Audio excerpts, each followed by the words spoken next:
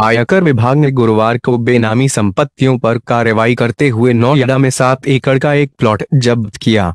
इसकी कीमत चार सौ करोड़ रुपए बताई जा रही है। आयकर के मुताबिक, प्लॉट का मालिकाना हक बसपा प्रमुख मायावती के भाई आनंद कुमार और उनकी पत्नी विचित्र लता के पास है। मायावती ने पिछले दिनों आनंद को बहुजन समाज पार्टी का राष्ट्रीय उपाध्यक्ष नियुक्त किया था।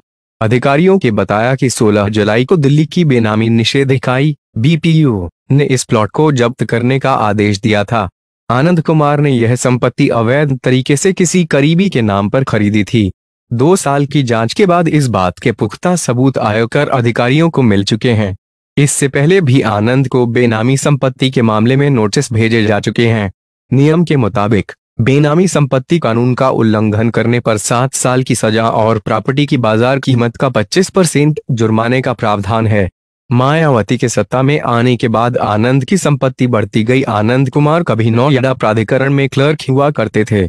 मायावती के यूपी के मुख्यमंत्री बनने के बाद उनकी संपत्ति तेज़ी से बढ़ी।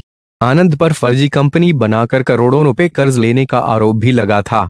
2007 में मायावती की सरकार आने के बाद आनंद ने एक के बाद एक उनचास कंपनियाँ खोली थीं।